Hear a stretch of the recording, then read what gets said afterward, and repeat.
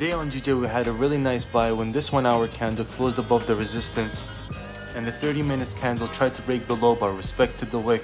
So as soon as it came up, broke the previous high, we anticipated this wick fill and went all the way up and we had a nice day.